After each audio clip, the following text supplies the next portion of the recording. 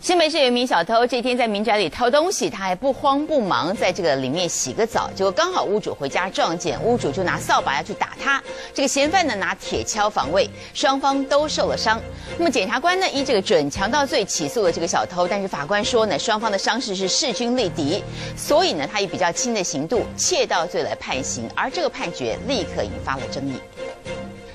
嫌犯抢劫把女屋主打得头破血流，依照法条以强盗罪被移送法办。这是之前案例。可是淡水有个嫌犯闯进这栋民宅三楼偷东西，还在屋内洗澡被屋主撞见，双方大打出手，但嫌犯却不是以强盗罪被判刑。那个贼偷给他，嗯，那个贼偷讲也是什么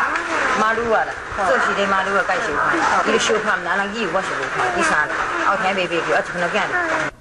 检察官依据法条内容认为，嫌犯窃盗时为了脱罪，对被害人施暴，依照强盗罪起诉，但法官却以较轻的窃盗罪判刑两年五个月。法官考量当时妇人也拿了一只扫把把嫌犯打到受伤，因此认定两人势均力敌。但像这样的铁锹又重又有尖端处，要怎么跟扫把势均力敌？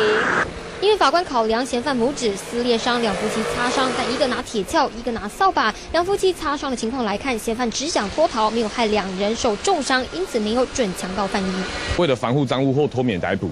然后在当场没有施以暴力，这种情况之下，才有可能不会构成准强盗罪。准强盗罪可判五年以上有期徒刑，但窃盗刑度是在六个月以上五年以下，差别很大。法官以伤势状况认为两人势均力敌，但铁锹和扫把怎么看都看得出来哪个比较危险。这样的判决恐怕让被害人无法接受。周俊侯、郑伦、吴医生，新北市报道。